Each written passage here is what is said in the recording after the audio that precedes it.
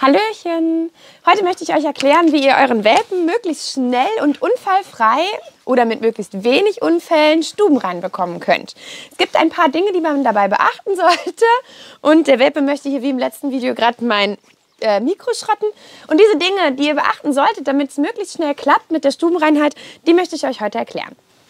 Punkt 1 ist, dass ihr unbedingt richtig gut aufpassen solltet, wenn euer Welpe geschlafen hat oder gefressen hat oder gespielt hat. Diese drei Punkte und als vierten nehme ich immer noch mit auf, wenn der Welpe gerade etwas ganz Aufregendes ähm, erlebt hat. Also zum Beispiel, wenn Besuch reinkommt, dann sollte man immer direkt einmal rausgehen. Sofort. Und sofort meint auch nicht erst in Ruhe die Jacke suchen, ähm, sondern wirklich den Hund nach Möglichkeit direkt hochnehmen und ohne Pause sofort unmittelbar danach raus. Das ist ganz, ganz wichtig. Wir erleben nämlich immer wieder Leute, die denken, sie machen es sofort, machen aber bevor sie losgehen doch noch ein, zwei Dinge zu Ende. Und das heißt eben nicht sofort. Und dann pillert der Welpe häufig schon in die Wohnung. Also wirklich sofort danach los. Dann solltet ihr schauen, dass ihr das eben auch mitbekommt, weil nur wenn man mitbekommt, dass der Welpe vielleicht bestimmte Anzeichen ähm, hat, dass er muss, dann kann man ihn auch rausbringen. Weil nicht immer, weil, wenn der Welpe muss, hat er vielleicht gerade geschlafen, gefressen oder gespielt vorher.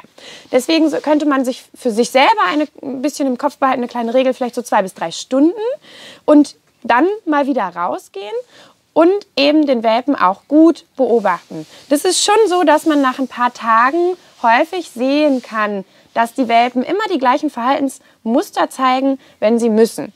Manche Welpen laufen im Kreis oder so ein bisschen, also nicht, nicht kringeln, sondern so einen kleinen Kreis. Andere Welpen laufen vielleicht mit der Nase schnüffelnd über den Boden. Das könnten Anzeichen sein. Oder aber der Welpe läuft vielleicht wirklich schon Richtung Tür. Das ist natürlich ein ganz deutliches Anzeichen. Das wäre immer etwas, was man mitbekommen sollte, denn nur wenn ihr sowas merkt, könnt ihr den Hund natürlich dann auch passend rausbringen. Das heißt, ihr seht das, ihr nehmt euren Hund vielleicht auf den Arm oder wenn ihr eine Tür direkt nach draußen habt, könnt ihr natürlich auch die Tür aufmachen und mit ihm rausgehen. Dafür ist es aber eben wichtig, dass ihr es mitbekommt und es kann helfen, dass man vielleicht den Welpen nicht in der kompletten Wohnung oder im kompletten Haus laufen lässt, sondern in den Raum mitnimmt, in dem man sich selber aufhält und vielleicht einfach die Tür zumacht, dass der Hund nicht weglaufen kann oder in einen anderen Raum laufen kann, wo man es den eben gar nicht merkt, was er tut. Ähm, das wäre der erste Punkt. Und wenn euer Welpe draußen ist, dann kann es durchaus hilfreich sein, wenn ihr erstmal eine Leine dran macht. Viele Welpen finden es draußen sehr, sehr spannend und haben vielleicht gar nicht so die Zeit. Deswegen hilft es oft einfach eine Leine dran zu machen. Jetzt wird es hier gerade ein bisschen wilder, ähm, sodass man dem Welpen ein Stück weit den Ort vorgeben kann, an dem er sich gerade aufhalten soll. Und dann würde ich auch immer mit dem Welpen an den gleichen Ort laufen. es ist hier gerade was los. Die haben eben alle geschlafen, die sind jetzt wieder wach. Also immer an den gleichen Ort, immer an die gleiche Pipi-Stelle, sodass der Hund sich daran gewöhnen kann ähm, und das zum Ritual oder zu einem Ort wird, den er damit verknüpft, dann fällt das Ganze natürlich auch leichter. Wichtig sollte sein bei diesem Ort, dass er natürlich ziemlich nah bei ist, dass ihr nicht erst zehn Minuten spazieren gehen müsst, bis ihr da angekommen seid. Und es sollte auch ein ruhiger Ort sein. Also vielleicht nicht gerade an der Hauptstraße direkt das erste Grasstück, wo alle vorbeikommen, sondern vielleicht ein bisschen ruhiger, wo nicht so viel los ist. Ähm, oder nicht immer die Tür vom Nachbarn gegenüber aufgeht. Das kann schon helfen. Dann könnt ihr euren Welpen natürlich loben, wenn er gemacht hat. Wichtig ist aber dabei, dass ihr bitte wartet, bis er fertig ist. Sonst ist es ganz oft, dass sie, sobald ihr anfangt zu loben, erstmal aufhören und sich schon freuen. Ähm, und das ist natürlich nicht Sinn der Sache. Die sollen ja schon erstmal in Ruhe ihr Geschäft machen.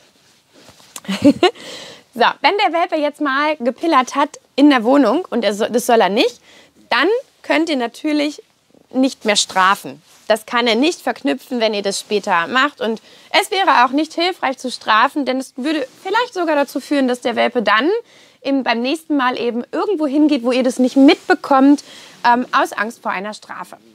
Wenn der Welpe also gepillert hat in der Wohnung, dann macht es einfach kommentarlos weg. ähm, man kann unter Umständen den Welpen, wenn ihr den erwischt, dass er gerade noch pillert, vorsichtig hochnehmen. Oft hören sie dann kurz auf und dann kann man ihn mit nach draußen nehmen und dann dort wieder zu Ende pillern lassen. Ihr seht, die Welpen sind viel, viel, viel munterer. Hier geht es richtig zur Sache schon. Genau, also haben wir schon gesagt, gut aufpassen, ähm, nach bestimmten Sachen, die der Welpe macht, schlafen, fressen, ähm, spielen oder aufregende Situationen immer raus, an einen ruhigen Ort und immer an den gleichen Ort und vielleicht mit der Leine, damit es einfach ein bisschen leichter ist, damit der Hund sich nicht von allem ablenken lässt und erstmal an diesem Ort bleiben muss. Und es kann durchaus ein bisschen dauern. Manche Hunde brauchen eine ganze Zeit. Ähm, meine Lift zum Beispiel, die hat am Anfang durchaus mal so vier, fünf Minuten gebraucht bis sie Zeit hatte und alles einmal angeguckt hat und dann erst pillern konnte. Diese Zeit sollte man sich unbedingt auch nehmen und dem Hund ganz viel Zeit lassen und das eben ganz in Ruhe machen, dass er sich die Stelle aussuchen kann, wo er dann schlussendlich sich hinsetzt. Genau. Und dann ähm, schaut vielleicht, dass ihr nicht sofort danach wieder reingeht. Das könnte einen Fadenbeigeschmack haben. Draußen ist es schön, draußen ähm, haben die Welpen in der Regel Spaß und erleben was Feines. Und wenn man sobald sie gepillert haben oder gemacht haben, wieder reingeht, kann es durchaus sein, dass sie das als unangenehm empfinden und mit dem Pillern verknüpfen, dass danach der Spaß aufhört. Vielleicht hat man aber auch Zeit und kann einfach danach die Leine abmachen und den Welpen noch ein bisschen spielen lassen oder den Garten erkunden oder, oder, oder, oder sich was Nettes angucken gemeinsam auf der Straße. Das sind so ganz, ganz wichtige Punkte. Ähm, was ich wichtig finde zu wissen, ein Welpe, der extrem häufig in sehr kurzen Zeitabständen oder vielleicht durchaus nach einer ganzen Zeit noch mal sehr unkontrolliert Wasser lässt, der kann auch mal eine Blasenentzündung haben. Das hatten wir bei unserer Happy sehr, sehr oft am Anfang. Ähm, das war dann mit der ersten Läufigkeit vorbei. Ähm, das ist aber etwas, was man vielleicht dann auch einfach mal abklären lassen sollte, wenn einem auffällt, dass der Welpe mit einem Mal mehr pillert, als er das vorher gemacht hat. die hängt ja an meinen Händen. Genau, das dazu. Und zum Schluss noch ganz wichtig für euch zu wissen, dass ein Welpe auch nicht von Anfang an seine Blase und den Schließmuskel bewusst kontrollieren kann. Das lernen die erst mit der Zeit. Es ist also völlig normal, dass die also bis zum vierten Lebensmonat sowieso noch nicht stubenrein sind. Aber es ist auch völlig normal, wenn das danach noch einige Monate dauert, bis das völlig klappt und ganz ohne Unfälle ist. Kauft euch die richtigen Reinigungsmittel und das muss gar nicht groß irgendwas wie Essigreiniger sein oder so. Das ist häufig sogar eher, dass die Gerüche ein bisschen wie Urin sind, sodass es als Pipistelle noch hinterher gesehen werden könnte. Es ist aber wichtig, dass ihr ganz, ganz, ganz gut sauber macht hinterher, dass wirklich keine Reste bleiben, weil Hunde sich das einfach angewöhnen, dass da, wo man schon mal gepillert hat, dass das eine gute Pipistelle ist und da wird eben auch wieder gepillert.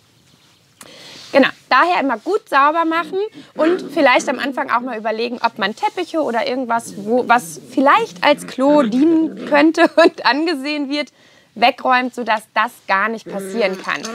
Das, was man vermeiden kann, sollte man natürlich vermeiden und dann eben das Allerwichtigste gut aufpassen und diese sofort danach Regel einhalten. So, jetzt hoffe ich, ihr habt die Infos, die ihr braucht und ihr kriegt euren Welpen schnell Stuben rein. Passt halt einfach gut auf und lasst ihm aber auch die Zeit, die er braucht. Jeder Welpe ist da auch anders. Ich wünsche euch ganz, ganz viel Spaß mit eurem Welpen, falls ihr schon einen habt oder eine gute Wartezeit und viel Spaß, wenn er dann angekommen ist. Und ich werde jetzt hier noch ein bisschen kuscheln. Ähm, und mache euch gleich aber auch noch ein kleines Video, wie die hier durch den Auslauf spielen. Das äh, kennt ihr ja schon, das machen wir immer. Und jetzt sage ich bis bald. Tschüss.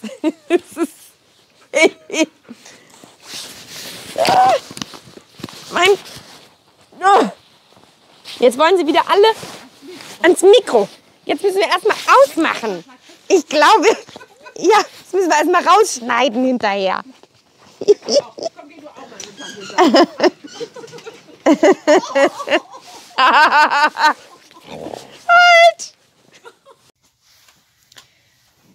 So, jetzt zeige ich euch noch mal den schönen Auslauf im Ganzen. Die Welpen sind richtig, richtig munter mittlerweile. Und die Suri hat auch tatsächlich jetzt gar keinen Bock mehr auf Säugen. Das sieht man auch, wenn sie das mal versuchen, dann sagt sie auch, dass sie das nicht mehr möchte oder geht. Da hinten hat sich einer ins Häuschen. Und hier vorne ist übrigens der Bruder von Happy. Das ist der Haku. Der darf hier auch mit rein, weil der auch ganz, ganz lieb zu den Welpen ist. Und das ist das Schöne bei Luisa, dass das eben auch nicht so eine Trennung ist, dass nur die Mami zu den Welpen darf, sondern sie lässt auch immer die anderen Hunde aus ihrem Rudel mit dazu. Jetzt könnt ihr das sehen, der ist echt lieb.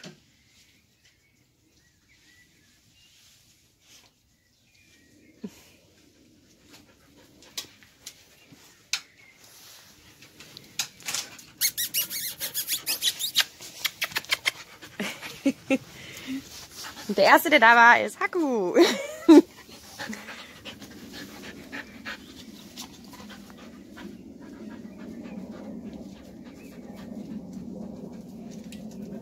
So, hier fliegt gerade ein Flugzeug oben drüber.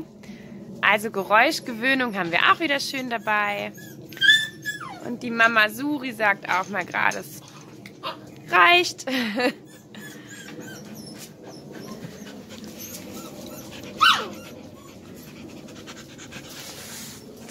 kauen sie hier an meinem Handy rum. Und einer will irgendwas, was, glaube ich, keiner gerade weiß, außer er selber.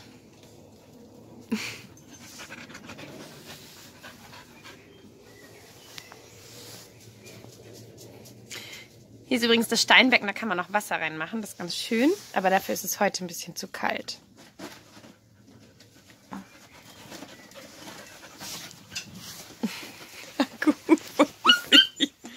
Haku schmeißt mich hier gerade um.